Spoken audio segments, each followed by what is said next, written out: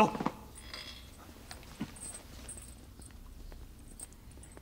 走，老实点。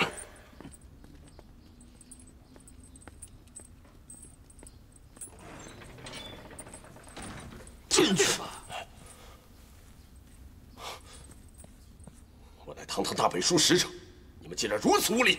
我管你是使者还是王爷，就算你们北书的皇帝到了这儿，都得守这儿的规矩。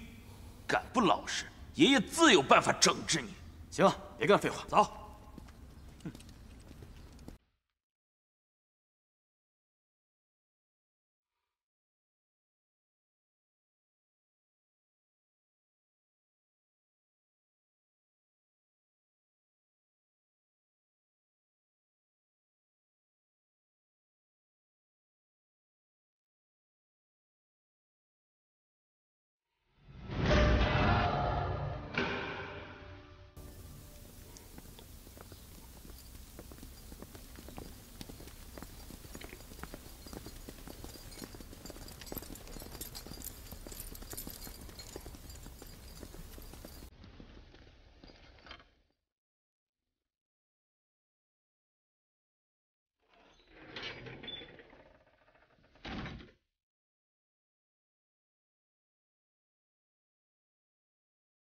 照顾不周，让使者见笑了。使者是个明白人，想必应该知道王爷想知道什么。都说宋国乃礼仪之邦，如今看来，这是言过其实啊。本使者持节而来，乃是我大北叔皇帝的使臣，代表着我国尊严、我主脸面。你们竟然私自囚禁我，就不怕消息传出去？引起两国兵戎相见吗？哎，使者所言差矣。你明明是出去游山玩水了，怎么会被囚禁起来呢？真是荒谬！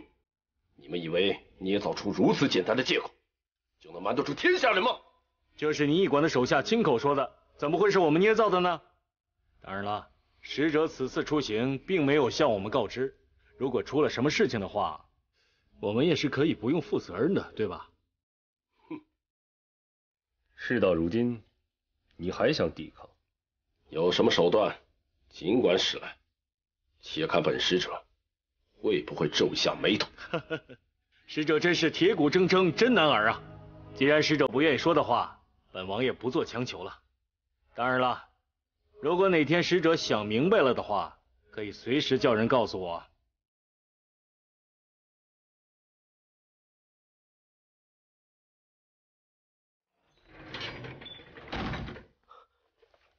王爷，杜明前辈，怎么样？他招了吗？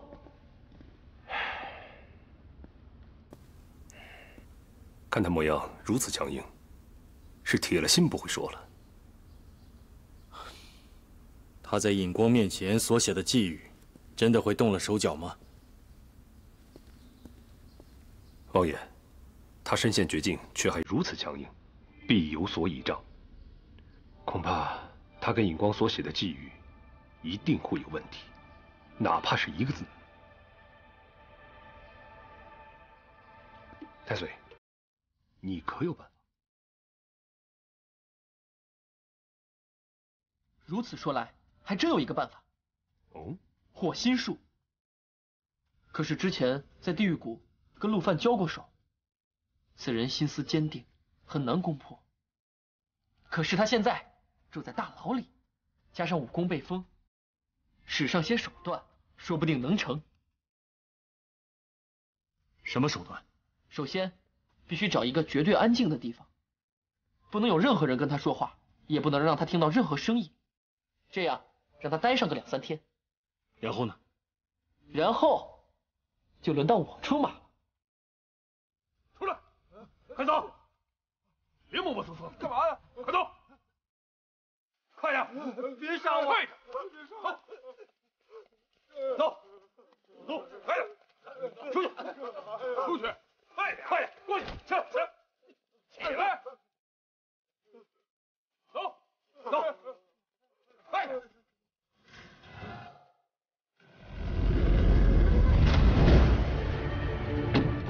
老头，老头，人呢？人呢？你们去哪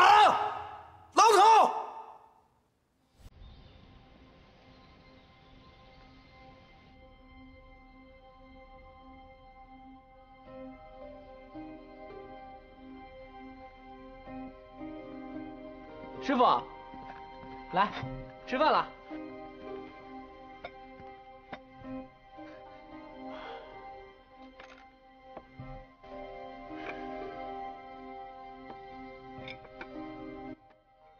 给您。嗯，好。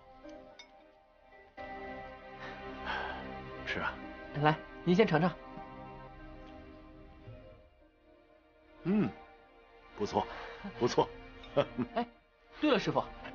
酒啊，可是皇帝赏赐给我们北斗司的御酒，就那么一瓶，我一直不舍得喝，给您老留着呢。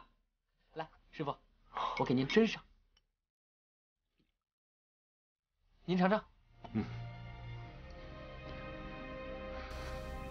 嗯，怎么样？香醇浓郁，如丝如绸，入腹如火，偏又无丝毫辛辣，不愧是宫廷真酿啊！好酒。来来来，师傅，您多喝一点。嗯。徒儿，来，陪师傅喝两杯。好。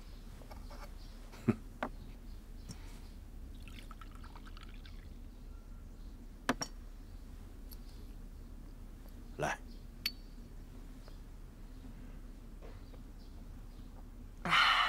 果然是好酒啊！是好酒。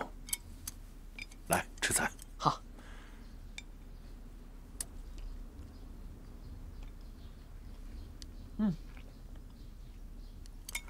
徒儿啊。嗯。这么多年，你有没有想过寻找自己的亲人呢？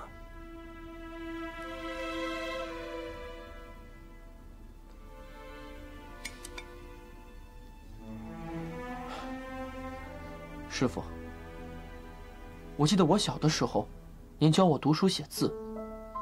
那个时候我就问过你，父母是什么？可是，你那会儿笑着对我说，等我长大以后，慢慢的就会明白。那个时候我还不懂这句话是什么意思。可是，当您失踪了，我一个人流落街头，无依无靠。慢慢的。就体会到了师傅您这句话的意思。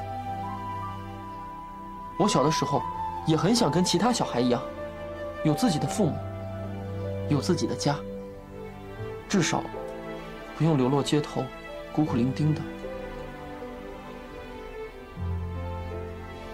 我想象中，我的母亲应该是一个很好看的人，笑起来会很温柔。做的饭也会很好吃。我的父亲呢，应该是一个很强壮的人，至少能够保护得了我。但是后来逐渐想着想着，这个念头也就越来越浅了。看到其他的小孩子拉着自己的父母，也不会那么羡慕了。对，他们是有父母。可是，我也有师傅。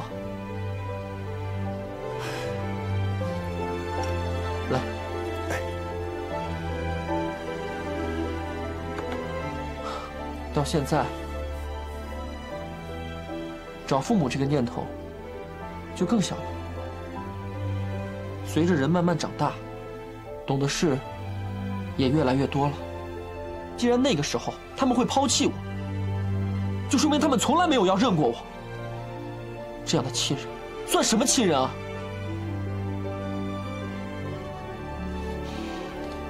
生育之恩，怎及养育之恩呢？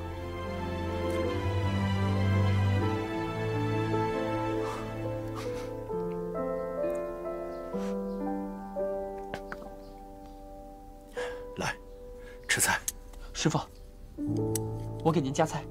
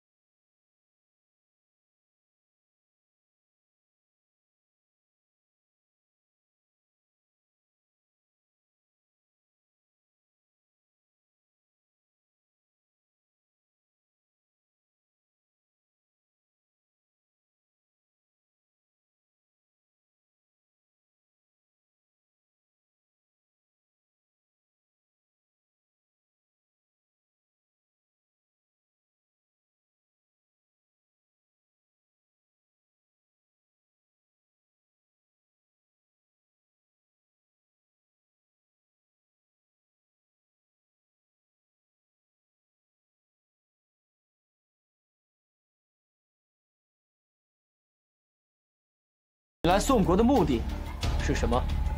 我们陛下命我来访宋国，缔结友好，建立榷场，以通商贸。那你到宋国之后，最想做的是什么？寻找推背图。是谁告诉你推背图的消息？自然是有人告知。那人是否就是之前在地狱谷出现的面具人？他究竟是谁？那人不肯说。不过，我只想知道推背图一事的真伪。对他的身份，我并不在乎。你找到推背图了吗？没有。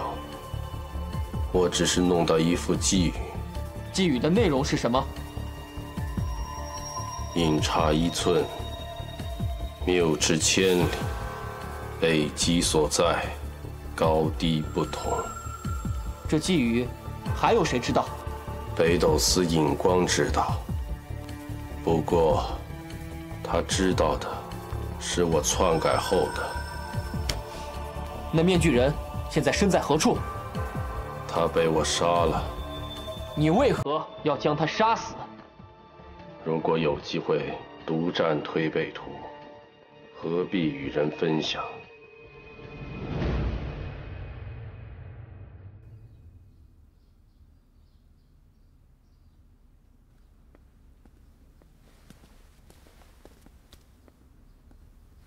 陛下，寄语已经被我套出来了。你是怎么做到的？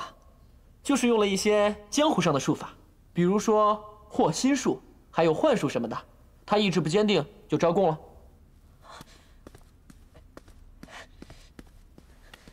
没想到世间还有这么厉害的法术，难不难学？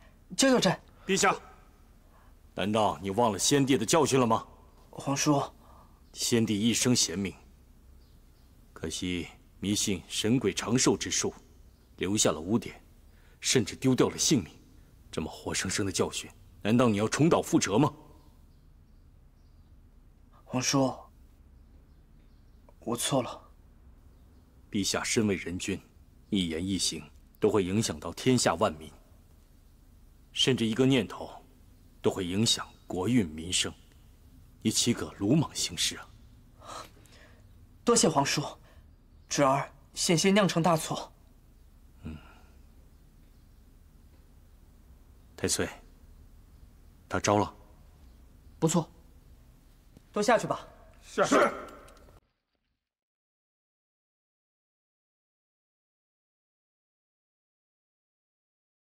如此说来，除了陆犯之外，就没有人知道完整的机遇了。按照陆犯的说法，应该就是这样。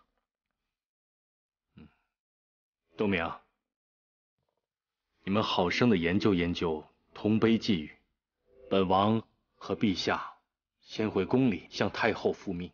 嗯，太岁，此事事关重大，寄语的事你绝对不能跟你的师傅和师伯提起。先王放心，我明白。嗯，皇叔，我刚出宫不久，想在外边多走一走。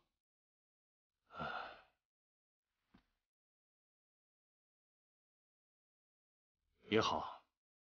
但是一定不能声张，免得宣扬出去了。皇叔我不管你，御史言官可一定不会饶了你的。放心吧，皇叔。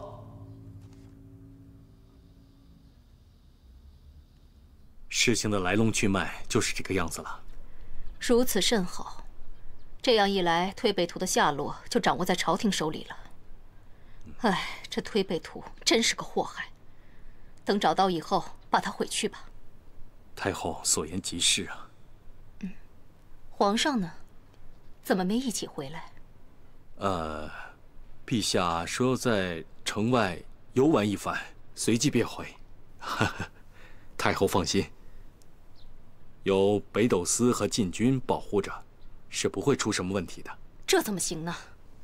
我儿万金之躯，万一出了什么问题，岂不天下大乱了？太后，陛下毕竟还是个孩子，从小在这深宫大院里长大，一直没有出去过，想来也是憋坏了。再者说，出去见识一下民间的疾苦也好，省得闹出个何不食肉糜之类的事情来，那岂不是要一笑千古了吗？嗯也是。先王说的也有道理。怎么样？嗯，这好不好玩啊？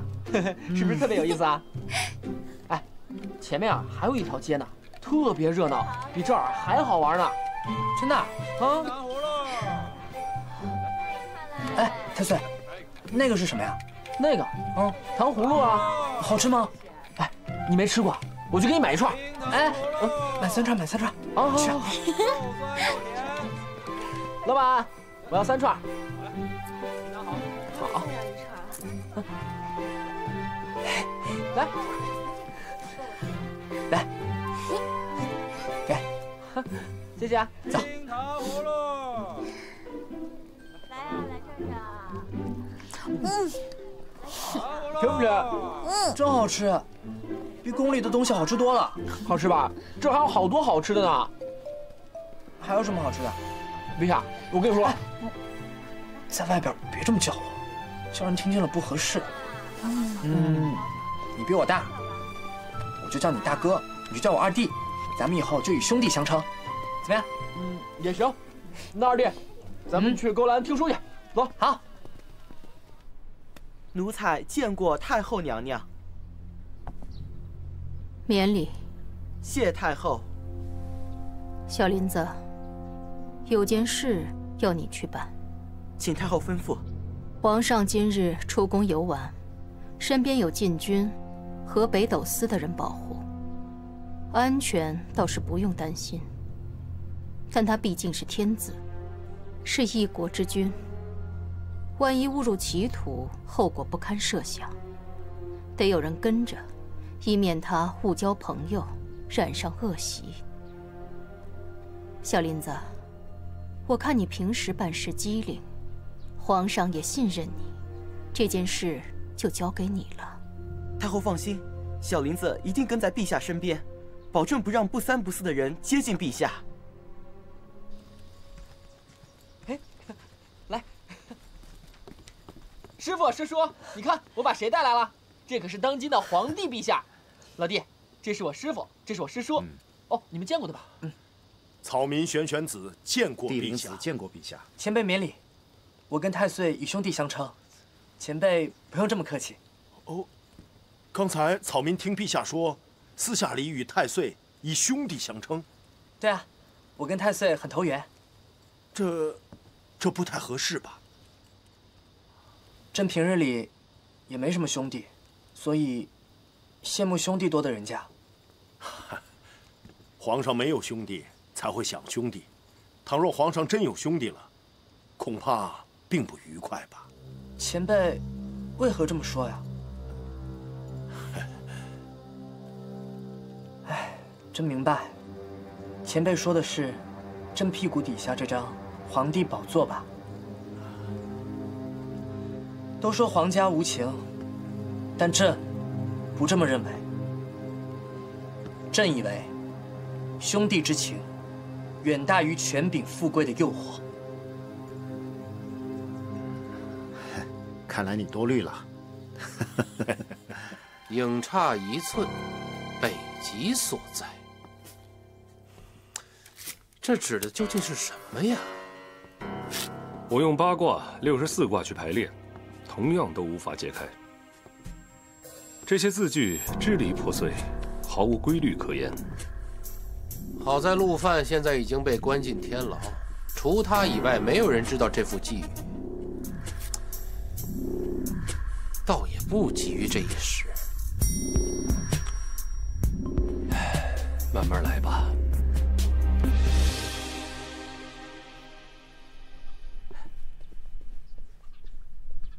启禀陛下，北书副使以心求见。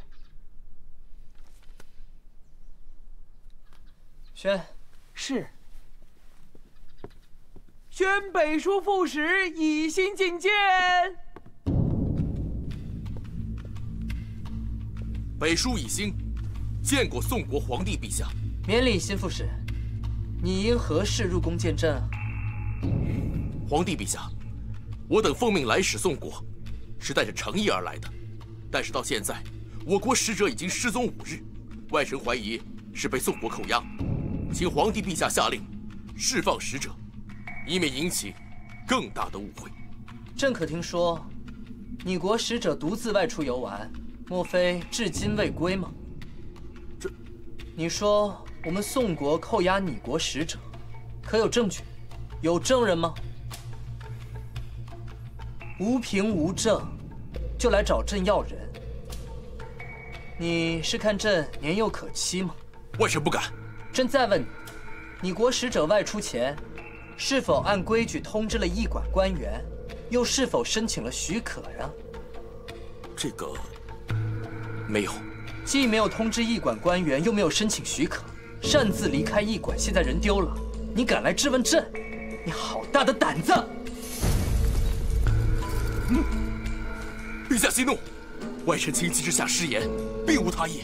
行了，这事啊，朕知道了，朕会派人帮你寻找的，回去等消息吧。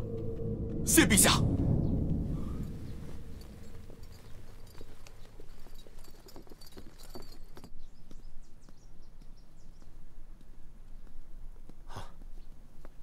位前辈，杜明洞明先生，不知两位前辈找我有何事啊？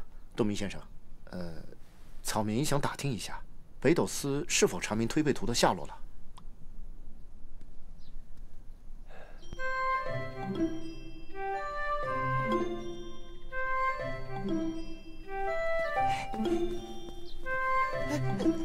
陛下，陛下。其实说起来，小皇帝真是可怜，长这么大，居然连纸鸢都没玩过。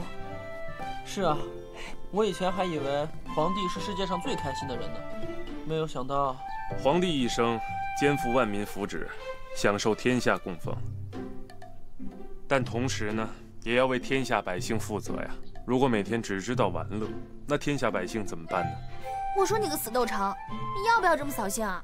每天都是百姓百姓的。难不成小皇帝玩个纸鸢就成昏君了？皇帝今天喜欢玩纸鸢，明天喜欢玩蹴鞠，后天又喜欢看相扑了。长此以往，上行下效，官员们呢，为了升官发财，一定会投其所好。照这样的话，明君也变成昏君了。行吧，算你说的有道理吧。哎，哎。挂住了，啊谁来把它拿下来啊？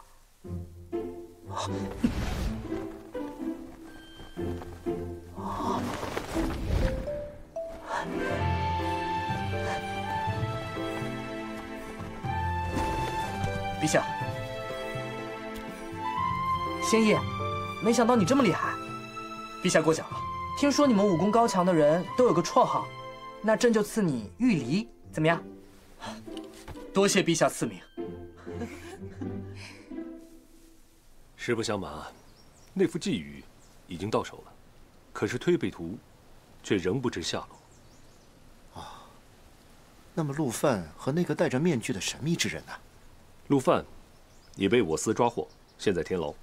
那个能驾驭雷电的神秘人被陆范杀了。唉，家师地藏，命丧于陆范手中。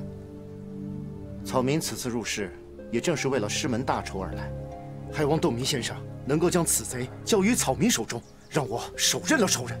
万万不可！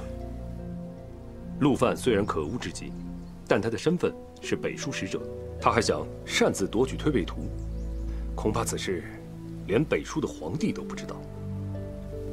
杀了陆范固然痛快，可是会引起两国的纷争，甚至会挑起一场战争。到那个时候，百姓流离失所。两位前辈，你们又能否心安呢？就算是我答应，朝廷也不会答应。陛下和太后更不会答应。可是，师弟啊，既然陆犯已经被擒，还有那个神秘人也不知生死，这两个罪魁祸首。都已经遭到了报应，后面的事就交由官府去处理吧。你我毕竟是世外之人，何必执着于此呢？听师兄一句劝，还是回山吧。师兄，你何苦劝我呢？这师傅的大仇一日未报，我怎能静修？回到山中也只不过是煎熬度日。再者，这师叔和朝廷早有约定，一旦找到推背图，就要立即将其销毁。可是现如今推背图毫无结果，我就这么回去，若师叔问起一二，你我该如何向师叔交代？哎呀，前辈呀，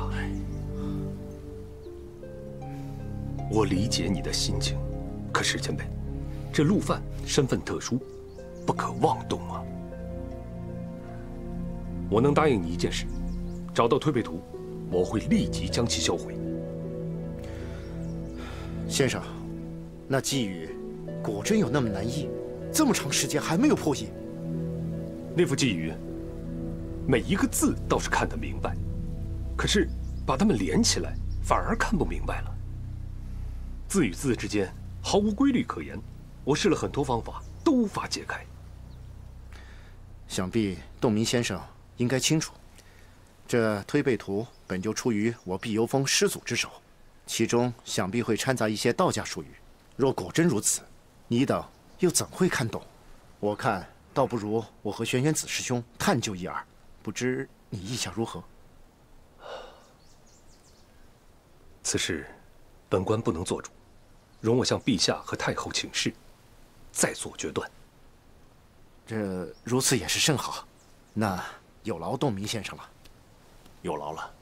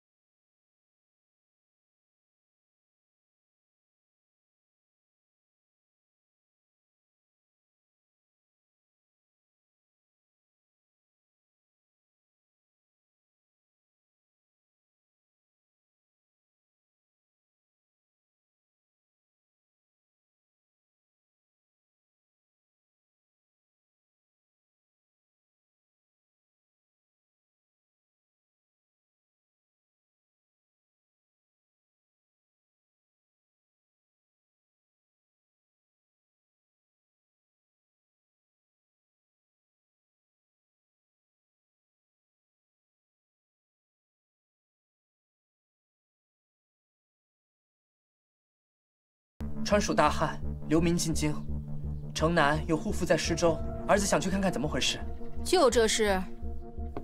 母后，难道这也算小事吗？流民从川蜀一路进京，要走多长时间？走多少路？路上会死多少人？官员们是否救济灾民？这一切，耳听为虚，眼见为实。我得去了才知道，到底有多少流民，官府是如何安置他们的呀？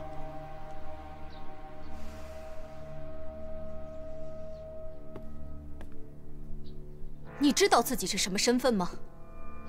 你是天子，是皇帝，有流民进京，你大可以命户部赈灾钱粮，也可以命工部择地修建棚房以安置流民。这些事你坐镇宫中，一句话就可以解决，何必要亲自出宫？想必是那太岁给你出的主意吧？